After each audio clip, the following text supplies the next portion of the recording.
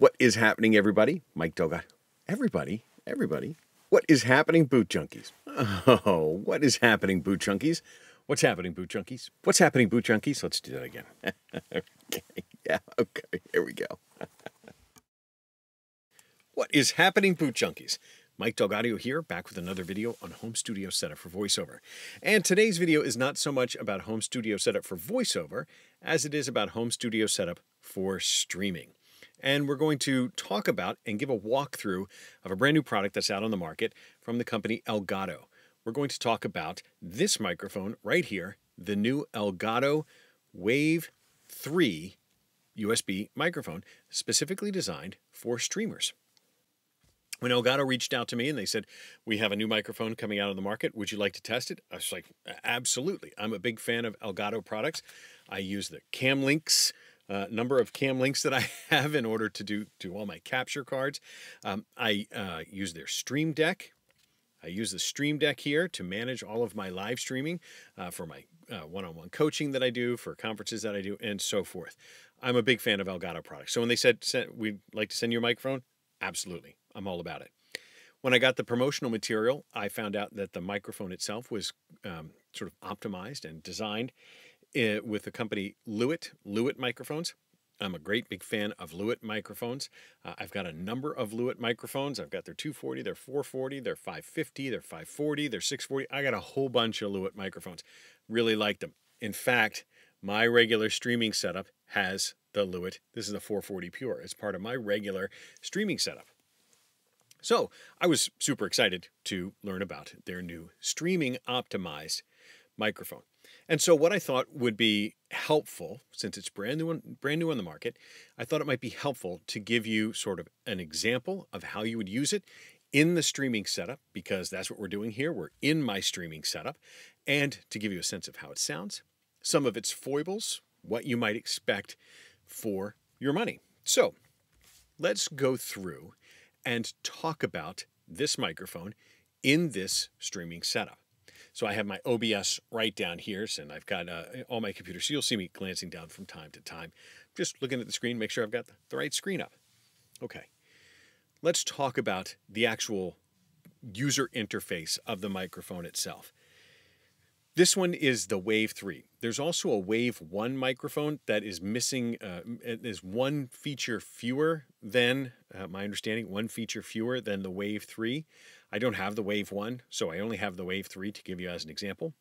So let's go through and give a quick overview of what the, the buttons and features that you can see that you'll encounter on the microphone, just so you can get an idea of how it works. There are three buttons, uh, there are three modes on this microphone, and they're activated through the through this multifunction knob. This knob is also a button that switches between the three modes of the microphone. And those three modes are First, this one with the microphone icon is the gain setting. So you you turn that knob until you get the right amount of gain, how much how loud the microphone is on input. So if you turn it up, I get louder. If you turn it down, I get quieter. And that's actually the input of the microphone, how loud you're going to be going out through your stream or going onto your disc or whatever it is that you're recording into. Press the button again and it switches over to the headphone mode. Headphone is how loud you're hearing yourself in your in your headphones. So you get to monitor, you're going to hear yourself back in the headphones, whatever's going into the microphone, and you adjust that with the headphone knob. It also, since this is a USB microphone, it acts as a sound card. It's getting sound from the computer, which you'll be able to also hear too, and that headphone knob adjusts how loud everything is in your headphones. Finally, the third mode is a mixer that allows you to mix between hearing only the microphone. Right now, I only hear the microphone in my ears, monitoring exactly what I hear. And then on the far other end, essentially takes my headphones away, but allows me to hear the computer and everywhere in between. So you get to mix how much you want to hear of the sound coming from your gameplay or whatever you might be streaming and how loud you hear yourself. So you can go back and forth. Now, you've probably noticed that button it's pretty loud. For my from my perspective, these are sort of set. This is a set and forget kind of mode. You get these dialed in before your stream starts, and then you don't mess with them again. If you do need to adjust them, you don't do it by, well, you could do it by touching the mic, but you don't need to do it by uh, touching the microphone because that clicking sound will get, you know, will go out over your stream. So there's another way that you can uh, adjust that. I'll show that to you in a few minutes. On the top of the microphone, see if I can do this without accidentally knocking out the USB cable. On the top of the microphone, there's a button that says mute or a pad that says mute. Get you back to where you can hear me. The mute button is a capacitive button. It does not click. All you have to do is just light, just lightly touch it. You'll notice the LED will turn red and it mutes. So if that way you have to if you have to cough, you just quickly and discreetly touch the top of the microphone and it will automatically mute. As long as that LED is red, you're muted. Pretty straightforward. That's actually a pretty handy feature because you can touch the microphone here and not transmit any sound. There's no handling noise. There's no handling noise with the mute button like there is with the big clicky button. So that's sort of the overview of the microphone. It's very straightforward. I will say, with the, the button on the front, the clicky button, it is um, it's it's a heavy to press button. You really have to put your hand behind the microphone and click it. If you try and push it just with the microphone, you uh, just just with the weight of the microphone, one the stand you really have to crank the stand down tightly. But then you just end up tipping the whole microphone. You tip the whole microphone over. The amount of force required to push the button is greater than the weight weight of the base. Makes for a nice durable clicky button, but it does mean that it tips over. So you do have to sort of brace it, which just adds more handling noise to the microphone. But that's the lay of the land. Pretty straightforward. It's a cardioid pattern microphone, which means the front of the microphone is going to be sensitive. But if I turn it around, the back of the microphone, you'll hear it's much less sensitive. It doesn't hear me nearly as well because cardioid microphones are sensitive much more from the front and to some extent the sides. It says in the documentation that this is a tight cardioid pattern, which is not a technical term, but it could be somewhere between a supercardioid and a hypercardioid pattern where the sensitivity is focused more towards the front, less to the sides, and even less to the rear.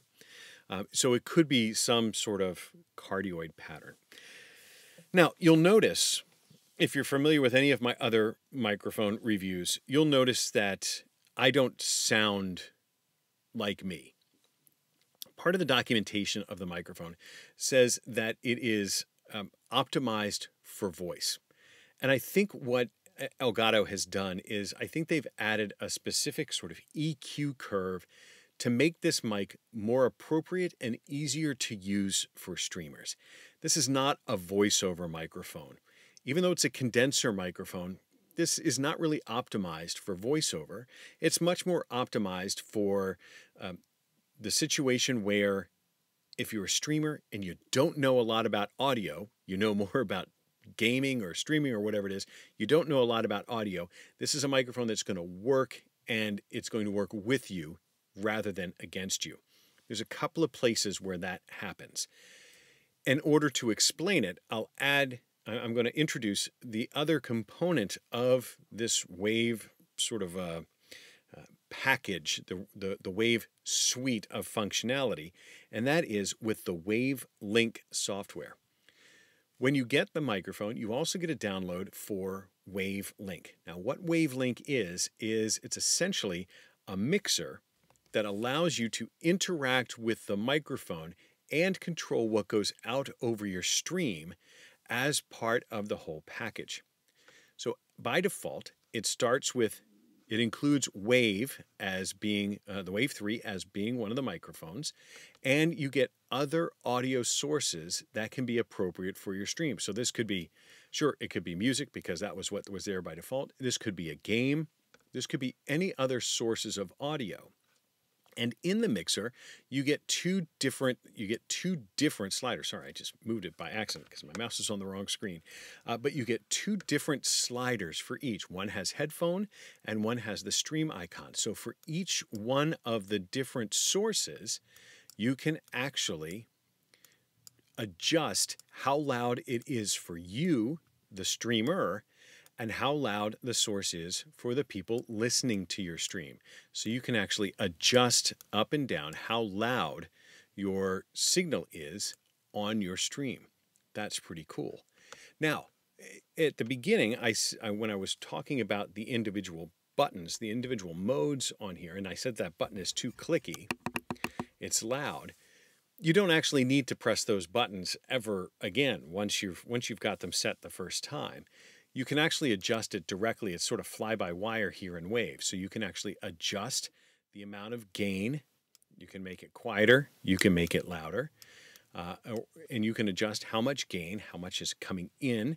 You can adjust the volume in your headphones just by sliding that slider. And that same mix feature, you can move that back and forth. Now, I'll also uh, point out here that there's two other features that are listed with the wave source. And these are two other aspects that I think are designed specifically to help streamers, especially streamers who are not terribly familiar with audio. They just want their microphone to work. They want it to cut through, you know, thumping on the desk. They don't want that to transmit into the microphone. Elgato has actually designed this microphone with two additional features to try and help the streamer out. The first, on the top here, is this enhanced low cut filter. Now, what a low cut filter is, a low cut filter essentially just removes the bass. So frequently, if you're new to microphones, frequently that very lowest bass tends to get transmitted into your uh, into your microphone if you if you bump the desk that will often end up getting into the microphone if you're really heavy with your keyboard it can sound very very thumpy thumpy thumpy and distracting in your in your uh, for your listeners the people watching your stream. So by adding that low cut um, that that low cut filter, it cuts out the lows. It cuts out the bass. Now, even as a voice actor, I typically EQ myself with my with my high performance microphones. I actually equalize out much of that lowest bass anyway. I typically will cut everything from 70 to 80 hertz. I'll reduce those anyway this microphone is doing it for you. Just the natural response of that microphone. It doesn't have, it just sort of is from 70 hertz and down. It's not um, as sensitive to it.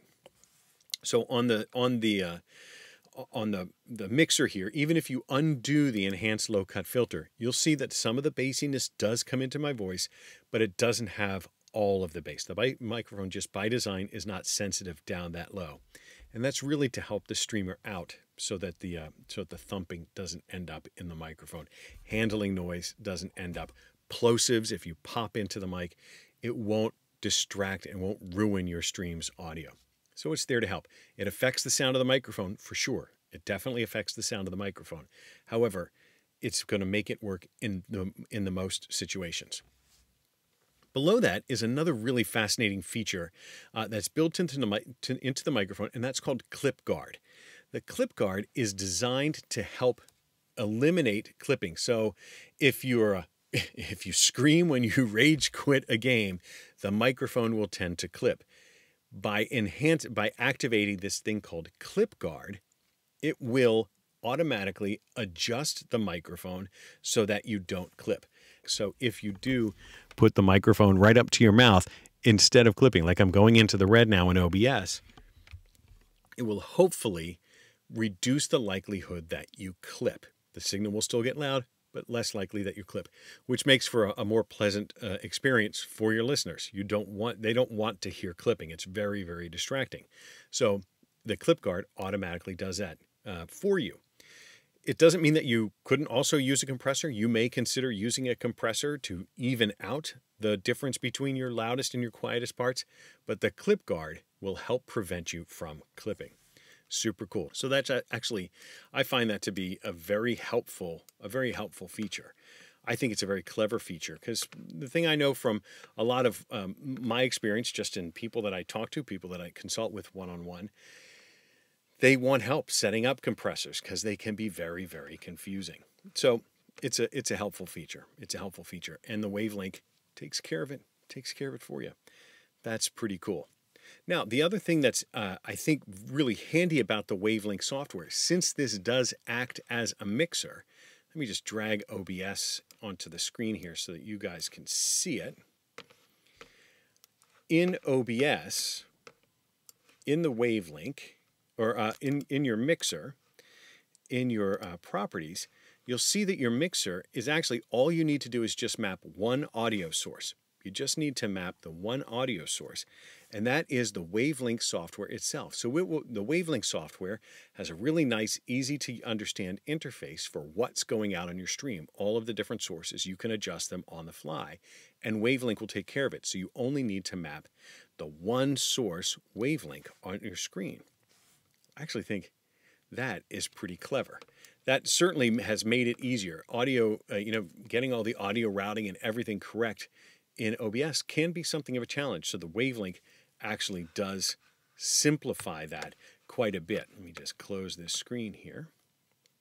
Uh, so after you've after you designated Wavelink, you just never need to do anything else. It's got it taken care of for you.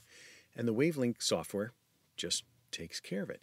So Elgato is part of their sort of streaming ecosystem. They're just continually making things easier, easier, easier for streamers so that you can concentrate on the content creation and not get bogged down in all of the technology.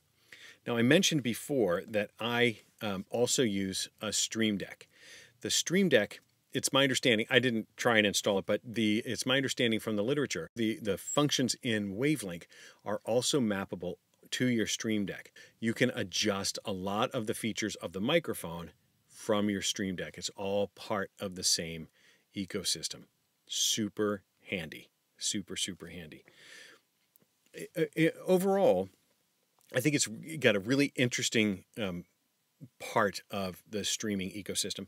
It's a USB microphone. It's really, really straightforward. Price, uh, I think, is $159, 160 bucks, right around there, depending on what country you're in. It's about in it's about in that range, depending on your local currency.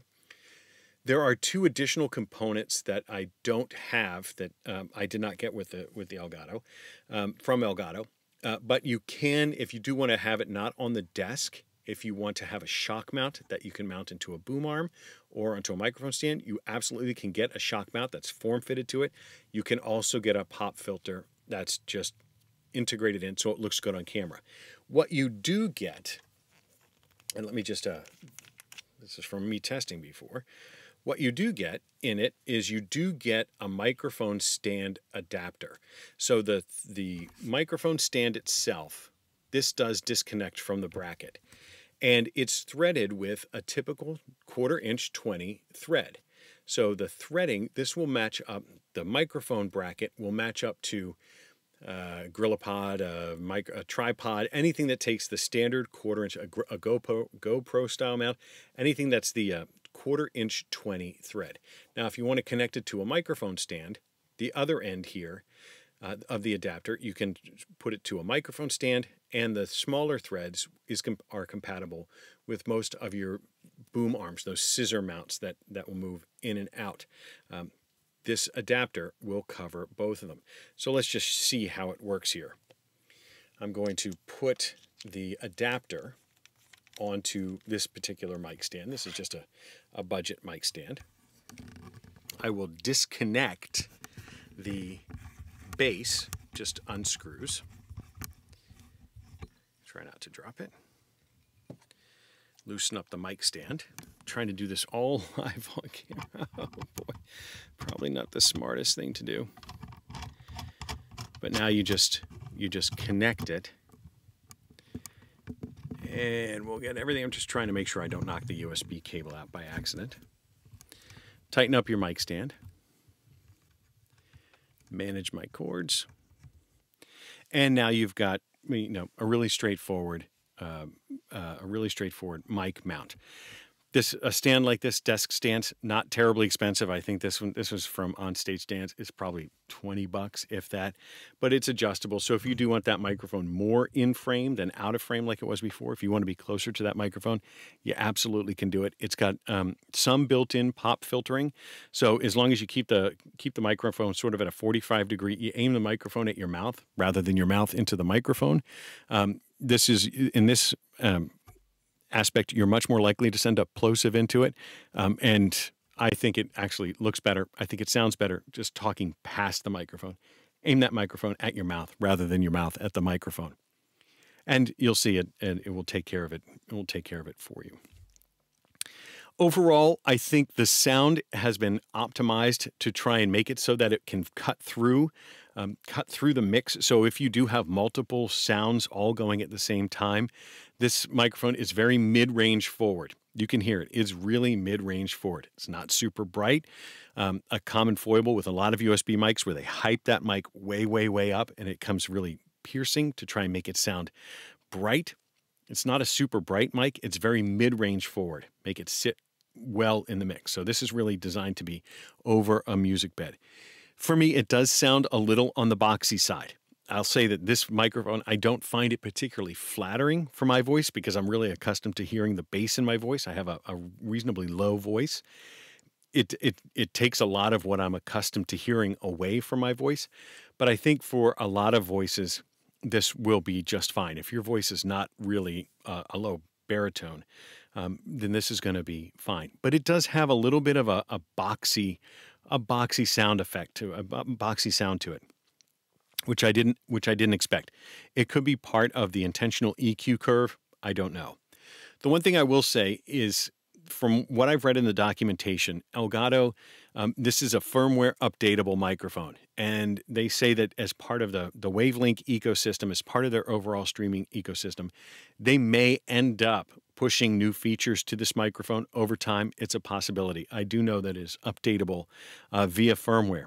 So it's possible that there could be a firmware update that adds new functionality, changes an EQ curve. I, I, really don't have any idea.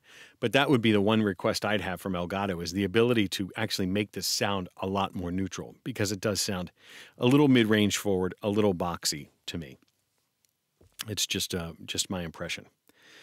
But as part of the overall streaming ecosystem that Elgato offers, I think it fits right in. I think it integrates really well to your typical Elgato sort of streaming rig between a Stream Deck and your cam links and getting everything squared away, I think it fits in. I think it fits in fairly well. Overall, you be you be the judge of the sound. You let me know in the comments what you think of the sound. I'd be interested to hear where you think it would apply. If you think it would apply, what what you think of it.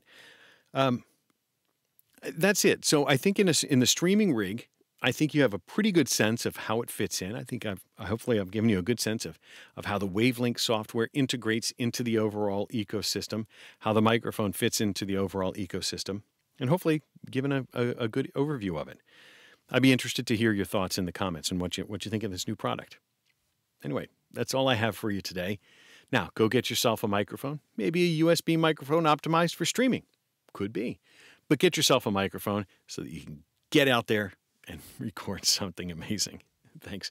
We'll talk to you next time. Take care. Be well.